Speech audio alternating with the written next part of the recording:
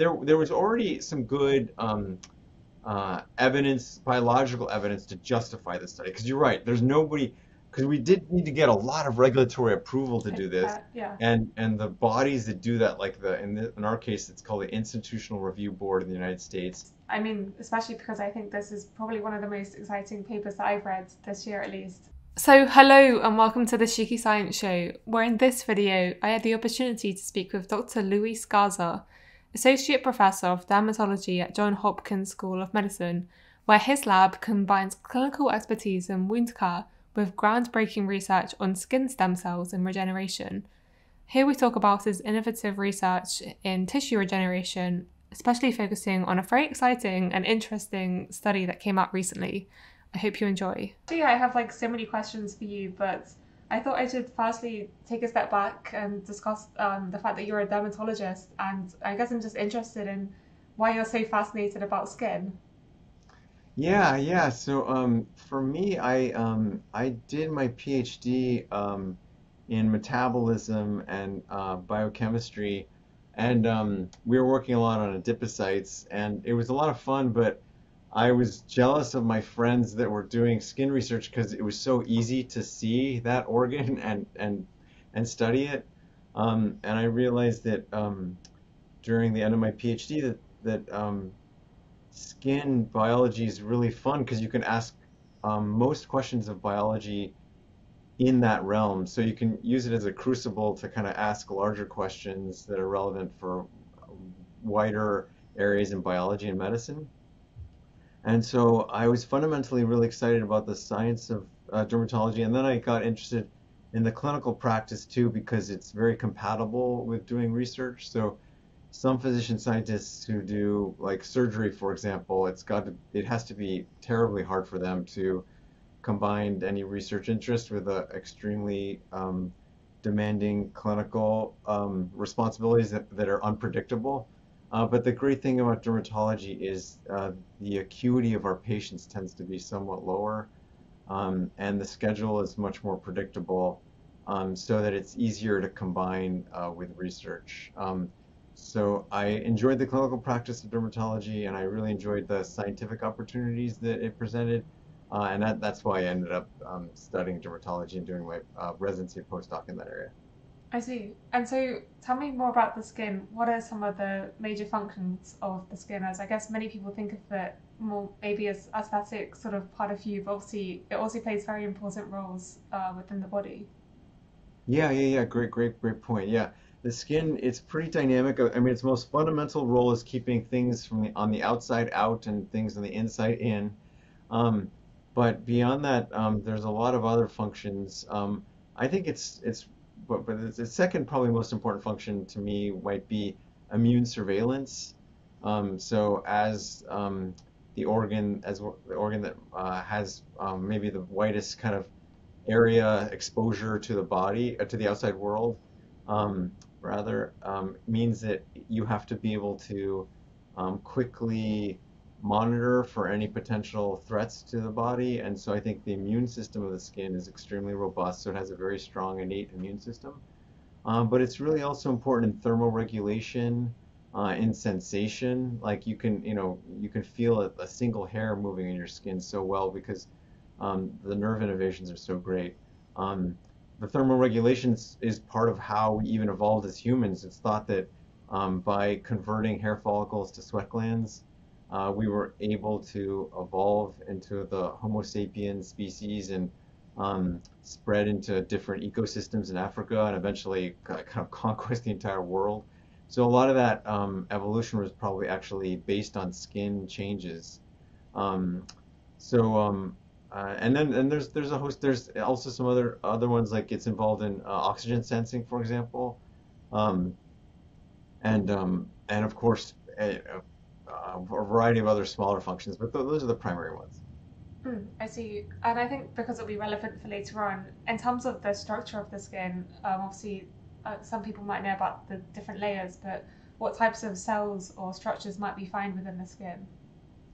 Yeah, so the um, outer there there's th there's two main layers of skin. There's the epidermis, which is the top layer, and the dermis, which is the bottom layer. And there's also a third layer kind of deeper than that that we call the hypodermis. Um, and um, the and so all all those layers, of course, are are relevant. Um, the top layer of of epidermis is composed of keratinocytes. Uh, that's the primary cell there, um, and the keratinocytes make keratin, um, and that keratin is basically um, a fundamental. It's like a steel cable that um, helps connect cells and gives cells structural support. Um, and the keratins eventually become like our teeth and our nail and like the horn of like a um, of like a, of, of an animal um, or um, or those those structures generally speaking are all keratinized structures like hair, uh, nails, uh, teeth, horns. Um, and then below the epidermis is the dermis, and that's composed of fibroblasts. And the fibroblasts, the primary uh, product from them is collagen. Um, and so in the dermis, when we wear leather shoes, we're, wear, we're wearing the, the dermis of a cow. Um, and then um, and then the hypodermis is the main kind of unique component there are adipocytes, which are also very important for uh, skin function. Um, so those are the three main layers. And then of course there's different structures that um, are in different parts of our body, like hair follicles, um, um help, you know, are most obviously on our scalp, but are really all, all over our body, um, are thought to provide um, maybe thermal regulation and also have other roles um, that we're only beginning to understand, like in immunity, for example. And then there's sweat glands, which uh, produce sweat, of course, like they're called eccrine glands. And there's a unique gland called the apocrine gland that's present in the underarms and groin. So those are some of the, the main structures uh, of the skin. Hmm, thank you. And I, I know that your lab's general interest is about regeneration of the skin in response to things like wound repair. And so I guess I'm curious to find out about the general research themes that you're currently interested in in your lab. Yeah, yeah. So we're really interested in regenerative medicine, as you say. Like uh, for us, the kind of lodestone that points north is the, um, like the salamander, where you can cut off a salamander's arm and it can make an entirely new arm. Mm. Um, and um, what's so cool about that is you know, why do we need to do a liver transplant or um, a um, kidney transplant? Why can't you just grow a new kidney or liver um, like the salamander grows a new arm? Uh, we know that every cell in our body has the same DNA program that we executed when we were in our mother's womb um, for organogenesis. And so why can't we reactivate those developmental programs in adulthood? There's great examples of that, like for example in the salamander. And so I think um, that animates us. That kind of excites us to say, um, how can we find examples of organogenesis in adulthood and try to learn from that to extrapolate on maybe new therapies for people. Um, and so in that realm, we look at a couple of different areas. We are interested in hair follicle regeneration after wounding. So when you have a big wound in the back of a mouse, the keratinocytes crawl across and they patch the hole and usually that's the end. Um, like in humans, pretty much that's all that happens. Is we just patch the hole. But in mice, um, they at the very center of the wound, they again reactivate embryogenesis, and they can make a new hair follicle um, from scratch, from just the cells kind of crawling, um, organized, self-organizing themselves. Um, and that's that, we're really excited about that and interested in what are the uh, cues that turn that on um, as an example of organogenesis in adults. Um, the other uh, thing we've looked at is saying, well, if we can't like regenerate like a whole arm in a human, can we at least regenerate that thick skin that we have on our palms and soles that the um, stump site of an amputee, at the distal limb of an amputee? Um, so those are kind of the two main regenerative medicine projects we're thinking about now. Yeah, no, it's super cool. And I mean, that's one of the reasons why I reached out to you because I think your research interests align with my own interests. I guess my interests are more broadly in uh, tissue aging. So, how does the body age? And I guess things like why does regeneration become less effective with age also sort of factor into that. Um, but to sort of build upon the last point you mentioned, I guess my favorite cell type, if, if one can have a favorite cell type, are fibroblasts because my whole PhD was on uh, senescence. And I know that your lab recently published um, a really great uh, paper on volar fibroblasts, which are fibroblasts found in the soles of the feet, and how if you take those fibroblasts and put them ectopically into different regions of the body, it could change the, the structure of the surrounding uh, skin environment. So, would you be able to elaborate a bit about uh, what this finding was and why exactly you were doing it? Sure, happy to. Yeah, Eleanor, yeah, it's great to hear about our overlapping interests. Um, yeah, I agree. The fibroblast is fascinating. I think the fibroblast in the last probably, you know, uh, 15, 20 years, we've realized is an extremely dynamic cell type that um, uh, that uh, was excluded from a lot of attention in the previous, you know, century.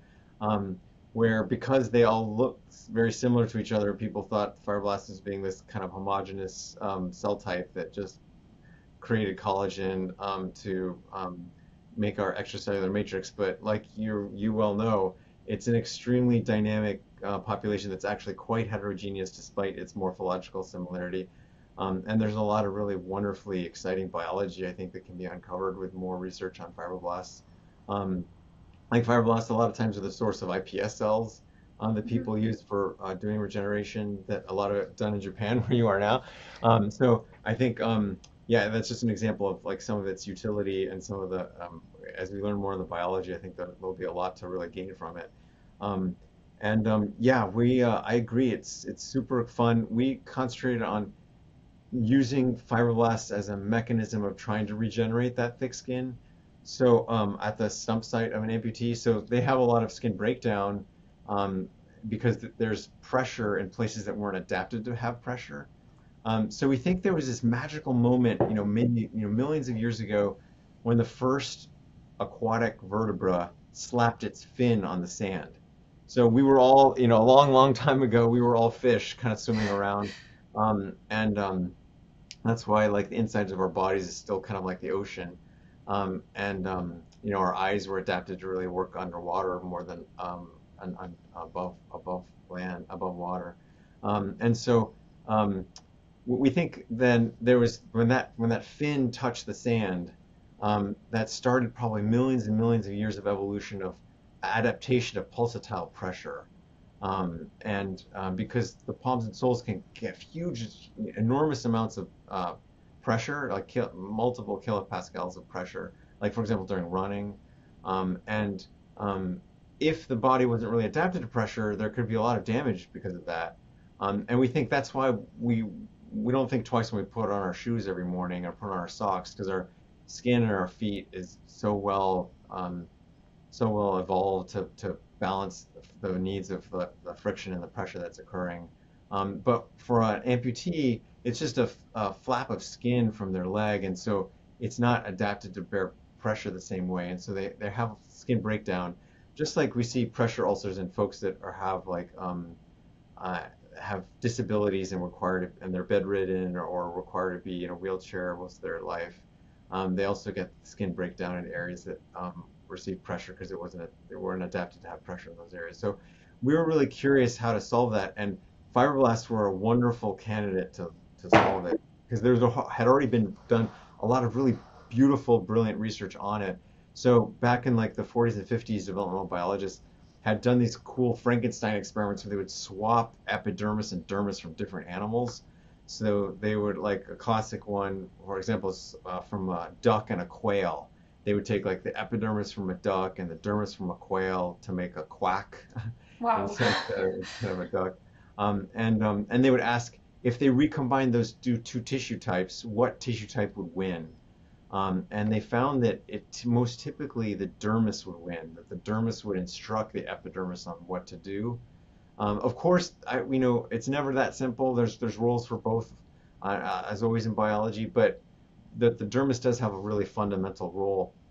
Uh, and a guy, um, they they even published in the 1960s in the New England Journal of Medicine using a guinea pig, where they um, combined different parts to see if they use sole um, dermis and, and different types of epidermis from the body of a guinea pig, which would win. And they found that sole dermis always won also.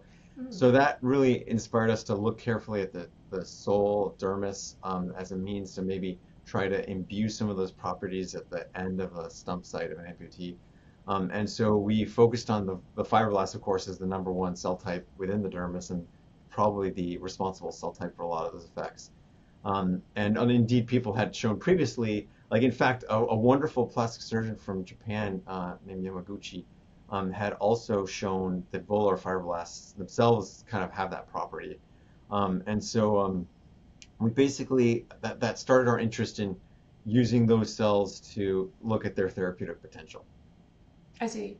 And so, um, having read the paper, my understanding is from a single patient, you took their own fibroblasts from the soles of their feet and then put it back into their own uh, thigh tissue uh, and then you looked to see how the skin structure changed over time. And then you compared this to taking it from, uh, I guess, a control tissue sample. I think in this case was the scalp fibroblasts um, to see how that would also affect the skin structure. And remarkably, you see that when you inject fibroblasts from the soles of the feet, it actually thickened the uh, epidermal layer, if I'm correct, um, which therefore, as you just mentioned, shows or suggests that the fibroblasts from the dermis of the feet have some sort of informational way of instructing the uh, thigh epidermis to change morphology. Is that correct, or have I completely butchered your study? Yeah, no, yeah, beautiful. Yeah, yeah, yeah, beautiful summary. Yeah, that's ex 100% correct. Yeah, yeah, that's exactly right. So the volar fibroblasts um, did seem to have that effect. We also used an empty vehicle control, um, like uh, uh, so we had two different controls. Um, and um, the volar fibroblasts did seem to have some unique properties of causing um, several changes on the skin. Um, and what was interesting, like we find out in science a lot, this will ring true to a lot of your listeners and, and viewers, is that uh, as we started this project, we realized we knew less than we thought about the whole area, the whole field in general, where we wanted to ask um, how well can we change the skin to be the type of skin at the palms and soles but that was predicated on us already knowing the difference on how palm and sole skin is different. And we realized as we started that the field doesn't even really didn't know that well how palm and sole skin was different. Um, so we had to do a lot of characterization of that as well. Um, we and in, in, in, addition to that, the field hadn't even considered how um, volar fibroblasts might themselves just have an intrinsic different response to pressure. Um, so um, that's another area that we studied is we took just these volar fibroblasts in a dish and we applied pressure to them like um, in, in a culture dish. Um, and by applying pressure, we found that they responded very differently to pressure um, and that they even looked different. So nobody had carefully looked at them and they even migrate differently. Um, they uh, have you know, different patterns of migration where they have this slingshot movement where they where they uh, how they move through a dish. Um, so they look different. Their gene expression is different. At a baseline, they respond to pressure differently. Um, so uh, so that was exciting. And then when we looked at um, trying to characterize the volar skin, uh, the palmoplantar skin more carefully, we found that uh, normally it has a thicker epidermis. That's the best well-known one that you you described. Um, but it also has the keratinocytes are bigger. Um, they have a bigger cytoplasmic size uh, in our palms and soles. Um, and then also in the dermis, the collagen is longer. Um, and also there's more elastin uh, present. Um, and a lot of those hadn't been known. So we, um, we first kind of defined that those were all true in normal uh, volar skin. And then we asked if how what they look after the cellular therapy and we found that they were all there was all some change in the correct direction. They were all there was also movement towards the volar phenotype after injecting these cells of those endpoints of looking at the, the thickness of the epidermis, but also how the, the cytoplasmic size of the keratinocyte, the length of the collagen, and the amount of the elastin. Yeah, no, I think it's, uh, I completely agree. Even just the differences in different regions of the skin and how they're different, why they're different, are fascinating questions. Um, and I think the other interesting thing with the study is it it isn't it's not did you do it in mice at any point, but at least what you published was done in humans as an initial clinical trial. Yeah, yeah, yeah. We, we do have some experiments in mice that that are ongoing, but it was really interesting. Like um, for our funders, the people that funded the research, which was um, the Maryland Stem Cell Institute and the Department of Defense uh, and also the NIH they were actually all three of them much more excited about doing it in humans than in mice. I, I tend to, we tend to do mostly mouse research. Um, because the, it's so malleable, like um, Mm. when you do research in people, it's just a lot more difficult. There's a lot more regulation, of course, because we want to be safe to our and and and true and, and kind to our subjects. Um, so we can't, we don't have the same experimental latitude that we have and options that we have um, in mice. And so uh, we prefer, and we actually still want to do a lot of work in mice, but we find that for our funders, that they much prefer us to just immediately do things in people. And I think there's pluses and minuses of both, and it- it'll be fun to talk about if you want. But um, you're right. We for this we basically jumped straight into people. Yeah, no, I was quite shocked when I read through the study because I mean, maybe I guess one of my immediate questions was how did you get people to to take part in a clinical trial? I, I mean, as you said, without the sort of more basic research uh, to build upon for the clinical study, uh, telling someone that we're going to be putting some cells from your feet into your thigh, hoping to change the structure, maybe it might have been a bit cautious. Um, but obviously, I'm really is I I guess very grateful that people are willing to take part in studies like this because they are fundamentally really important for us, our understanding of science. Yeah, yeah, no, I, I agree. I think well, the good news is um, a lot of some work had already been a lot of been work had been done in vitro for sure, and some work had already been done in people, even like the um, like uh, Yamaguchi, uh, the plastic surgeon in Japan. He he had translate had transplanted onto uh, people's palms um, non-volar epidermis to show that it could it got changed um, to to volar epidermis when he moved it onto the. So people had already done some work on pe on people. Uh, people already done work on other animals like guinea pigs, like I mentioned, uh, and the quail and duck. Just just not a lot of mouse work per se. There been ha had been a little bit of mouse work, but not a huge amount. So there there was already some good um, uh, evidence, biological evidence to justify the study. Because you're right, there's nobody. Because we did need to get a lot of regulatory approval to do this. Yeah. And and the bodies that do that, like the in the, in our case, it's called the Institutional Review Board in the United States, and also the the FDA. Um, the FDA um, and the IRB always make sure that there's scientific justification that this isn't just a lark and isn't doesn't have any kind of clear conceptual um, reasons why it, w- it should work. Um, so the good news is that was present. Um, I think also we could make a good case for safety because we were doing an autologous study. Um, so we're Yeah. you put, putting the cells from one person from one area back into their body.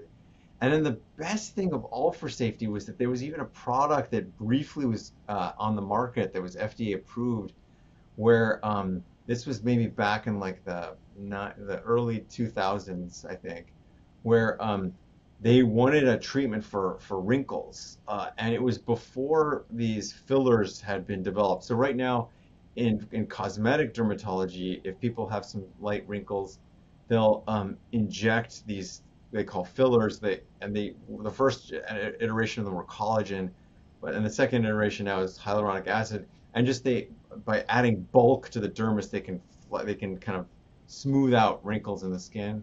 But before a lot of those products really took hold, some uh, some kind of enterprising folks said, well, what, maybe we can move fibroblasts um, into those areas to make more collagen. Um, and so there was bre and they and they got it, and it was one of the first cellular therapy products actually. It took a long time for the FDA to approve it, but eventually they did. So the FDA already had some experience looking at safety, a lot of safety data for autologous fibroblast therapy. So that was al also safe. So that so we were able to get kind of buy-in from the funders, we were able to get buy-in from the regulatory agent, agencies, and then for buy-in from the patients and our subjects uh, was also really critical. And, and, and you're right, it's a real um, testament to the um, altruism and kindness of these folks that they participated. Um, and we will, as all of us in biology and medicine and, and the public should all be very grateful, as you mentioned, Eleanor, for the, for the participation of these folks. A lot of them did it out of pure uh, self-sacrifice because there wasn't any um, gain. There was a, a minor payment to help them with parking and stuff like that. Um, but it's it was really pure interest in helping the, the, the world. Um, some folks were motivated because they had family members that were amputees, and they thought maybe this you know can help them, and then maybe eventually even you know, the pie in the sky dream of, of growing a new limb. Maybe we can even move in that direction. Um, and then some of them had um, family members in the armed forces, and um, we started the work around the end of uh, the United States wars in Iraq and Afghanistan, and some of them had family members who were wounded in those wars or wounded in other wars, um, and wanted to um, help um, their their um, their relatives. Um, so so there were some, uh, and some were just straight veterans uh, who were in the armed forces previously and felt wanted to help others other veterans. and like I said, a lot of them were just motivated out of pure interest of, of, of furthering science and medicine. So um, there, so a lot of different motivations from our subjects, um, but we're, we're we'll always be eternally grateful for their participation. Yeah, no, absolutely, and I mean, especially because I think this is probably one of the most exciting papers that I've read this year, at least. Um, so I think that the scientific advance is evident. Um, just before we come back to the paper, though, I'm I am curious about the autologous fibroblast therapy you mentioned. So this was approved in the early 2000s. Is it still existing, or what happened to it? Yeah, so the it, basically they went out of business because um, it, it was a very expensive business model of doing autologous therapy, especially compared to off-the-shelf injections of collagen or hyaluronic acid. It was much cheaper. So, um, so and and so that was one of the big reasons that, that, that they, they unfortunately uh, went out of business. I guess that kind of then leads back to your study then. And in terms of taking fibroblasts out of, let's say, the soles of the feet, that doesn't necessarily sound like the easiest thing to do. And like, what was the, how many cells could you actually effectively get from uh, the patients? You're right. Yeah, it was. It, it, the study took us a long time. The, the other thing I should mention is um, this study took almost a decade. wow. to do okay. um, because um, uh, because of the difficulties for um, uh, regulatory approval. Like the FDA application was literally like about this thick um, to get FDA uh, um, approval. Um, do getting the you know obviously the funding. enrolling the subjects because it takes a long time to get the subjects. It has to fit their schedule. You know, it's not like mice where they're always downstairs when you feed them you know, it has to fit. It was a long study because you know our our uh, we were doing time points out to two months, five months after injection. Um, but we even had one person who was lost to COVID, and so we had a 17 month time point for them. Um, so uh, it was it was very challenging. And the other time to get the other um, challenge to get what you're asking is growing up the cells took about a month. Um, so because we take a biopsy from the sole um, we start to grow up those fibroblasts. Um, we let them kind of crawl out of the tissue, which is a little bit slower, but but easier for manpower. Um, so um, and that takes some time. And then uh, from one biopsy, we can get a lot of fibroblasts grow so well. That was the other motivation for the studies. We knew fibroblasts would would, would be uh, a good cell type that were easy to expand. So we could get to 50 million uh, cells uh, from a subject, but it, it took you know really at least a month and then um, the safety testing is uh, you have to, what you do is, this is kind of interesting. After we finish the expansion, we freeze down uh, the cells for injection, but then we also freeze down some like dummy vials with cells. Um, and those vials aren't meant for the patient, but what we do is afterwards, after they're frozen down, we thaw them and make sure that if we put them in a dish that they're completely sterile. Uh, nothing grows out, nothing grows out of them. Um, and it and then and they're pure. We also test them by flow to make sure that they were 100% fibroblast cells. Um, and those studies, those like quality control studies take time too. So basically, every subject, it was about like really three months almost before mm-hmm. the time we um, biopsied them for when the cells were ready. Um, and then we would do an extra like you know two months or five months for monitoring them, or 17 months in that one one patient. So the timelines were very, very long for each subject. Um, and the cell therapy lab at Hopkins can't doesn't have a huge bandwidth, so we couldn't enroll a lot of patients at one time.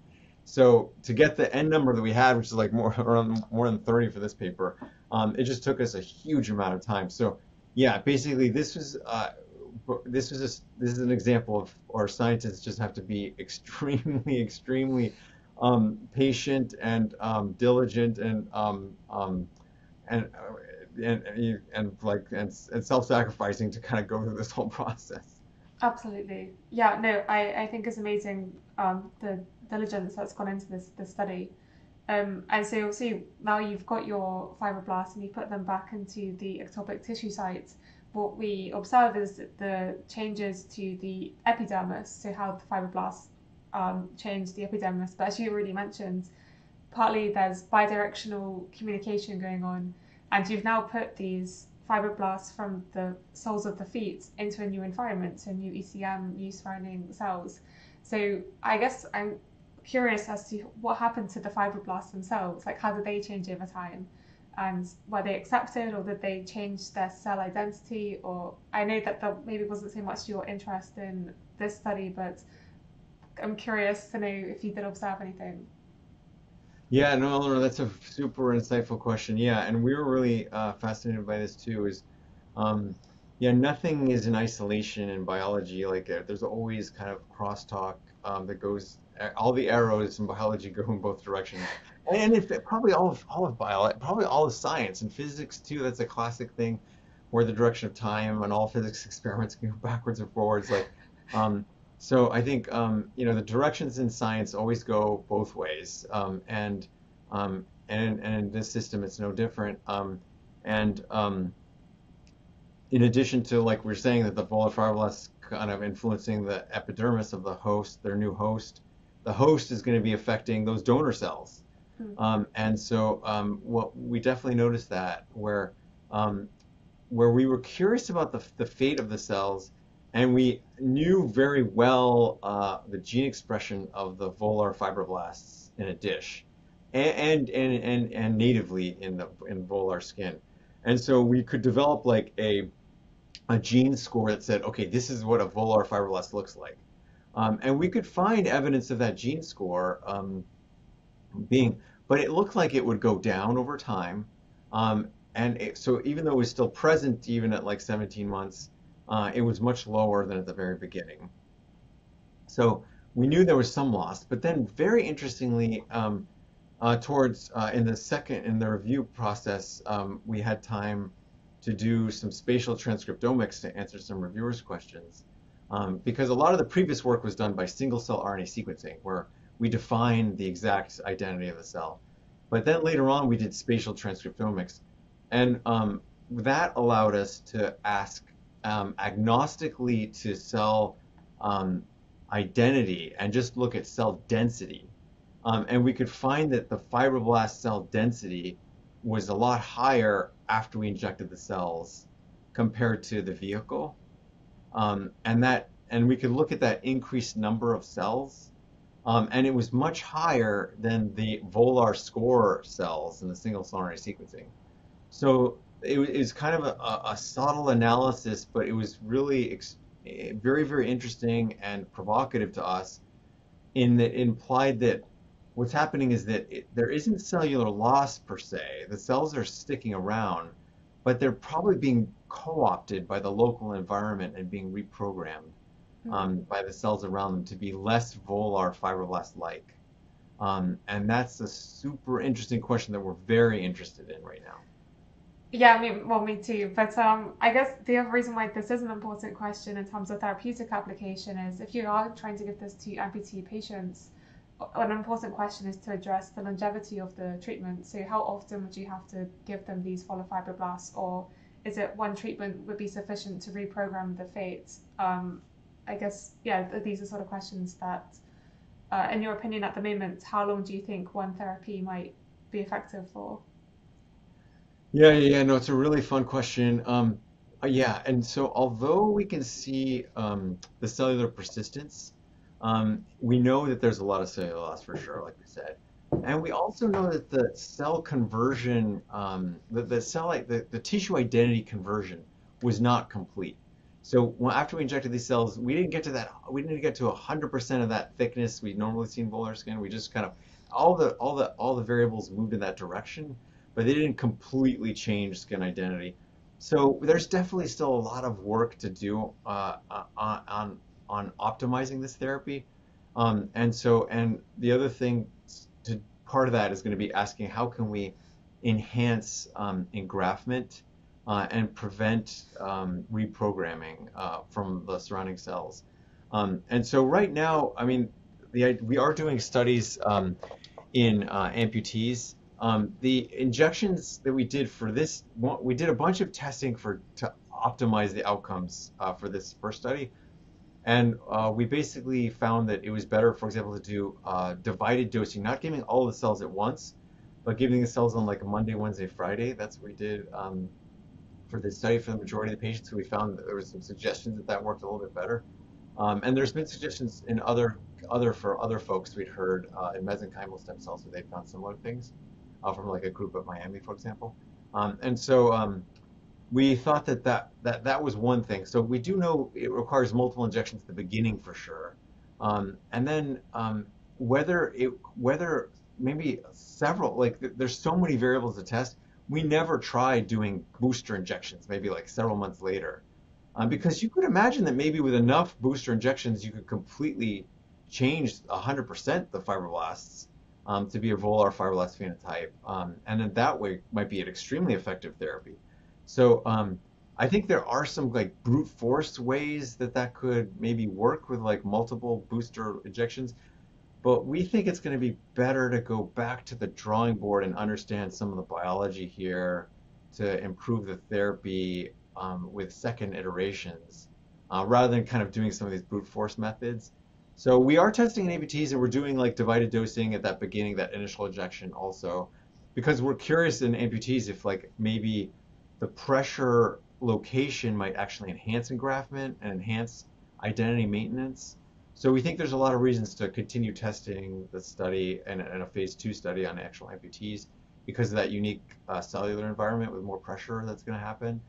Um, but fundamentally, we think it's very it's going to be very important to do continued um, improvements to try to look at some of these deeper biological questions to make it a better therapy. Yeah, absolutely. And I guess, um, well, the one immediate question is, I think you've sort of touched upon it, is if there is a better method to, to change the cell identity, uh, the tissue identity, I should say, whether just doing a whole graftment would be better than just having the fibroblasts. Obviously, from a technical perspective, that's more challenging in terms of getting the graft in the first place and making it autologous for the patient. Um, but I think to sort of backtrack more to the biology, what what really makes the volar fibroblast the volar fibroblast? Is it all just down to epigenetic differences? Because um, I think the other question about speaking about how the identity of the fibroblast might change in a new environment is where where is that information kept within a cell? Is it really just a matter of changing the epigenetic patterns and gene expression? Yeah, yeah, exactly. I think it, epigenetics has got to be the solution here. I think that's I completely agree, Eleanor. Um, and um, and and how that epigenetics gets reprogrammed, I think, is an extremely interesting question, um, and it's a very fundamental one in biology. And I think we can. This is an example of where we could try to maybe tap into a deeper biological question that has a lot of ramifications. Um, to ask like, what are the cues? Uh, for reprogramming epigenetics, and, and that's what Yamanaka. That's the cool thing what Yamanaka did, like, um, is like finding a way to completely reprogram the epigenetics uh, of of a fibroblast to become like an embryonic stem cell, and uh, and I think kind of asking us, and he found you know a special cocktail, um, and and the question here is going to be what is the native cocktail? So what is the cocktail occurring in normal people's skin? That's reprogramming the epigenetics of these cells. Um, and I think that that's going to be a really really fun question to get at. Um, and um, and you know we're we're really interested in trying to look at that. Um, and and so that those are experiments that are actively ongoing right now. Okay, awesome. Yeah, I look forward to hearing more about it. Um, but maybe now to go more to another project that you mentioned about this wound-induced hair regeneration um, I'm very curious to find out more about that um, as I guess wound repair is something, as I mentioned, declines with age and it's something that um, I find interesting because when the the tissue repairs a wound, it's now creating new ECM components, new collagen molecules, and things like ECM components. A lot of these proteins are very long lived, so the process of wounding itself is a regenerative process. It's making new structures. In many ways, it could also be seen as a rejuvenative, anti-aging sort of approach. So this concept of wound-induced hair regeneration is very interesting. And would you be able to elaborate exactly on what your lab is doing with that? Yeah, yeah, yeah, yeah. Happy to. Um, and and we definitely have overlapping interests with yours about aging and regenerative potential. So, um, there was a, a, a former postdoc in my laboratory who's I'm now very much independent and running his own laboratory and doing really exciting work in a lot of areas. Uh, his name is Dr. Sashank Reddy. Um, Sashank's an MD PhD uh, here at Hopkins in the plastic surgery department, um, and he's um, uh, he learned he did some WIHN assays with us and helped us define the role of the innate immunity uh, in in uh, triggering a lot of hair follicle neogenesis and specifically recognition of double-stranded RNA that normally is from viruses, but can interestingly trigger um, hair follicle regeneration. Um, so he helped a lot of those foundational studies we did in our lab. Now in his own lab, he's looking at how aging impacts uh, hair follicle neogenesis, and it certainly inhibits it for sure. And he's got very exciting new data. They're they're getting close to submitting on mechanisms of why aging is causing uh, decreased regenerative potential. So keep an eye out for, for work from Dr. Reddy on that exact topic. Um, but uh, fundamentally, um, I completely agree with you that there's going to be a role for ECM here. Um, that's not a huge component of what Dr. Reddy's looking at himself right now, but that's a really exciting question we're uh, interested in pursuing more in the future. Who knows? I don't know if you know we can work together on this, but basically, um, what we know is that in humans, um, if you take the, that um, this is some really exciting work that they did, for example, at the University of Michigan a long time ago, uh, with a guy named David Fisher, and, and my current chairman was involved in the studies, Dr. Sewon Kang, and then uh, this guy, uh, John Voorhees. They were, um, and then another person named uh, Dr. Varani. Uh, they were um, taking, they could see that in, uh, in very old pre people's skin, the fibroblasts uh, had an aging, a clear aging phenotype and a senescent phenotype, um, with um, uh, you know very high production, for example, of MMPs, uh, and very low production of collagens. They could take those cells, um, they could compare like a, a, young person, and the young person's cells uh, would have um, comparatively the opposite. They would have uh, high collagen production and low MMPs from a young person in situ. And they would they would take those cells out and put them in a dish. And now the old person and the young person cells are indistinguishable. That just by moving them into a dish out of the uh, their environment the cells lost a lot of their aging phenotype. Um, it was some really beautiful foundational studies they did and i think with to me what that implies and i think also to the to, to the to these investigators was that the local environment was part of stimulating an aging phenotype. So, and a lot of that has to be the ECM. So I think, um, you know, these, I think ECM is an extremely understudied area. I think there's a lot of very exciting ways it can probably modulate regenerative potential and uh, and and, a, and, aging phenotypes. Um, that I so I completely agree. Just to kind of go off off off off to uh, off topic a tiny bit. The questions you bring up are extremely exciting and important.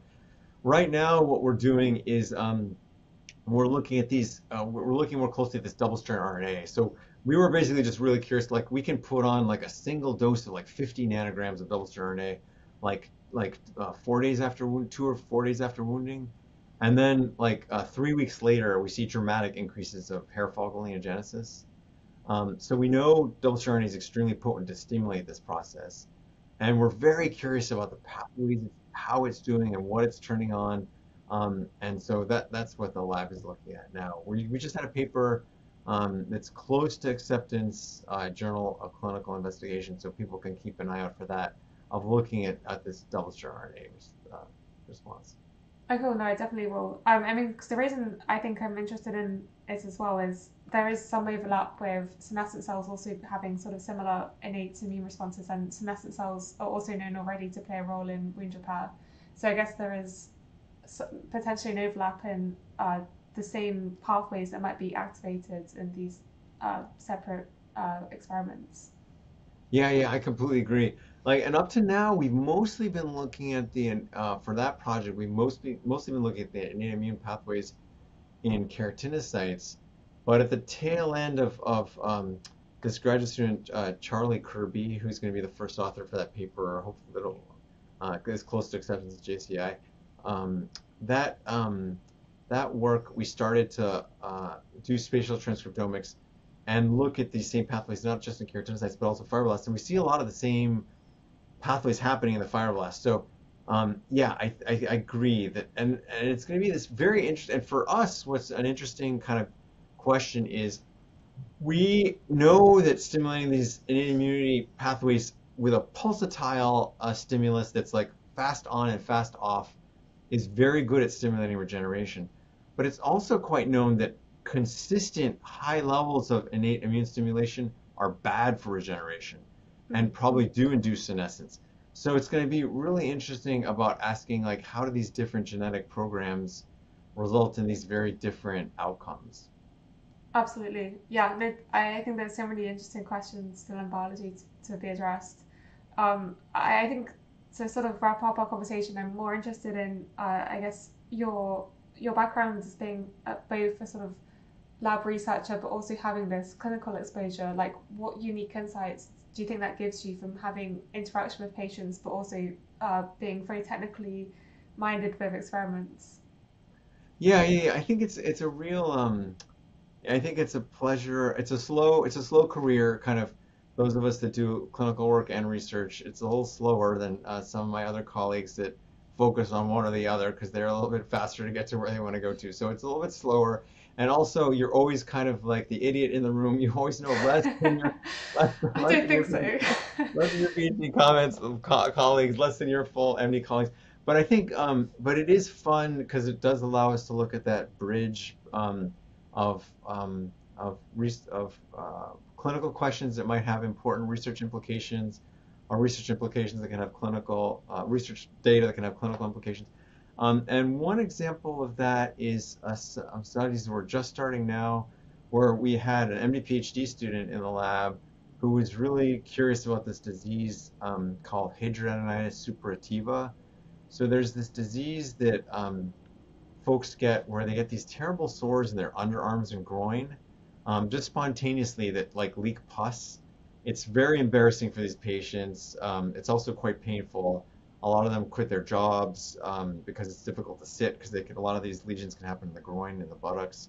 Um, it's very embarrassing because they have pus like leaking out of their body. Um, and most fascinatingly of all, the the um, the incidence of this, the amount of this disease we're seeing is going up a lot lately. So like when I was a resident, I saw this disease maybe just like once uh, once or twice a year. Like this is about 30 years ago now. Uh, you know, 20, 25 years ago, I'd see it like well once, um, very, very, very infrequently. We'd always bring it to our diagnostic conferences because it was an unusual diagnosis to share with our colleagues. But now it's a daily diagnosis. It's so oh, it's like it's becoming it's becoming more of an epidemic now. And so to us, that implied that there was a environmental cause for it. Um, and um, we think it's actually involves fibroblasts um, in this in the skin, and um, so that was an example where we we could I could tell it was something that was environmental, and we started studying it in the lab. We're kind of um, trying to submit it to journals right now from some of our first work to look at what might be causing it, um, and um, and it's been a lot of fun to try to apply a lot of the molecular biology expertise we've honed over the years to this new disease that's becoming more common. Hmm, that's really interesting. I guess that's something I hadn't really thought about is by having that direct exposure to patients, you know exactly what things are becoming more prevalent and therefore where we should be putting more attention to in terms of the scientific research. Um, yeah, there's an interesting story there just to mention. Uh, one of my colleagues uh, uh, was from Okinawa, um, since you're in Japan, just to mention this. And um, and in Okinawa, um, Okinawa used to be um, like in the, one of the blue zones, meaning that they would say this is where people could live the, uh, the longest in the world because of an extremely healthy lifestyle of you know eating a lot of uh, vegetables and uh, and, and fish um, with uh, with a lot of you know exercise and outdoor activity and you know a lot of the things that um, we associate with good health. But recently, um, interestingly in Okinawa, probably because of the sadly the American base and maybe the influence of American culture, sadly, there's been um, uh, increase of like um, Western diet, for example, in, Okin- in parts of Okinawa. And HS is also becoming more prevalent uh, in Okinawa. This disease is also becoming more prevalent in Okinawa. So I think um, that we heard some really exciting results from one of our Japanese colleagues at the um, at our dermatology conference um, talking about um, the, the, the, rates of HS uh, in, in parts different parts of Japan. And um, that also kind of clearly indicates that there's some environmental cause. It might even be related, related to our nutrition um, that's causing this disease. Um, and so, yeah, I think there's a really a lot of exciting ways of applying science, like um, also international collaborations and learning from each each other. So um, and, and it's a fun way of not only being able to combine different expertise, but different geographies where we can learn about about common common questions. No, absolutely. Um, and I think I, one question I always like to ask people is what sort of advice would you give to other researchers or people who are interested in learning more? And I think, as you sort of said, communication or collaborating with other people is really important to have a good scientific career. But what sort of other general advice uh, would you want to leave with my audience? Yeah, I would I would say um, believe in yourself. Um, I think like something that I did when I was young is I thought, oh, geez, like uh, uh, I, I should just do the lowest risk thing because I, I you know failure is so common and but I wasn't really believing in myself so I think it's important. And I think a lot of times uh, trainees because you don't it's true you don't know you're still learning it's easy to think well I don't I to confuse that with like a lack of uh, ability. And don't do that. Don't don't confuse your status as a learner with your uh, lack of like ability because that's because you, guys are there's so many so many of you guys are so smart have so much to offer. Um, so i think um, trying to just stay true to what you love. So ask yourself just what fundamentally what do you care about? What what really interests you? What do you what do you find viscerally kind of in, attractive and enticing? Um, what what speaks to you at kind of your, your deepest uh, level and a lot of that intuition, I think, tends to be correct. It tends to draw you towards really important open questions. Um, and so I think listening to that voice is really, really important. Um, and then I think, and then um, trying to kind of not be afraid to go off the beaten path. Um, where I think a lot of people say, oh, I, you know, I really um, want to do my postdoc at Harvard, or I really want to do my postdoc at, at like UCSF, or, um, and uh, but but try to just think about the fundamental question that will animate you and and drive you. Um, because if it's a fundamental question that's really really important, you can take it to a new level, a new point that will really bust open the field and make and make your career uh, successful and easier. I think what happens is for those of us that like tend to um, if we're too risk averse, like I was, I think at the very beginning of my career, um, I think um, what happens is we tend to make very incremental uh, uh, progress, and it tends to be harder to justify to funding agencies uh, and our colleagues about the value of what we're doing. Um, but if you go off the beaten path, um, there's a real chance to make much more um, uh, larger uh, leaps.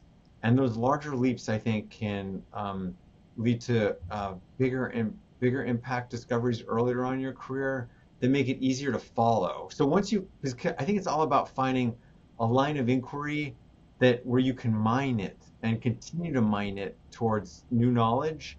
Um, and the earlier you find that that that lead, um, the better. And it's and a lot of that's kind of taking risks. So I think um, just being um, not being not like of course you want to do it with really really uh, talented people. So trying to kind of surround yourself with super talented people, but they're not always in the same same institutions. I think that's important to think about um, as you kind of try to pursue some of those new questions. No, that's great advice, and I completely resonate. I think for myself, um, I don't know if I'll ever get to the point of knowing. I'm always still in that learning phase continuously. Um, and I think it's so right to, to find the questions that really drive you as a scientist. Um, and I think I agree as well, having more risks. Um, I think we often play it safe because it's, well, it's the safer thing to do, but I think we're in a position now where we should try to be a bit more ambitious, and I think that's only so evident in this late, latest paper that took you 10 years, potentially longer, to, to get out. So I'm really excited to see what comes from your lab next. Um, I, as I said, I think you're addressing some really important biological questions, and I think is making me think of more questions for my own research. And I think it's just yeah, really exciting time uh, as well for research. So I can only wish you the best of luck with it, and I look forward to hearing more about it in the future. Yeah, thanks, Eleanor. Yeah, yeah, congratulations on your science journalism here. I think, like I mentioned at the beginning, I think this is so important to communicate uh, our results to the community um, and, and, and to lay folks um, so that they understand what we do and can help um, continue to support our, our work through government funding, for example. So um, yeah, and I think I agree. Like science communication, the more we talk to each other, I think the more connections we'll find um, in disparate fields. So, and that can't happen without the exciting uh, work you're doing, um, like in, in this, um, you, in this, in this, um, in this program. So, thank you so much, Eleanor, for your interest and, and, and on your insightful questions. Uh, it's, it's been a lot of fun chatting with you today. Oh, excellent! My pleasure.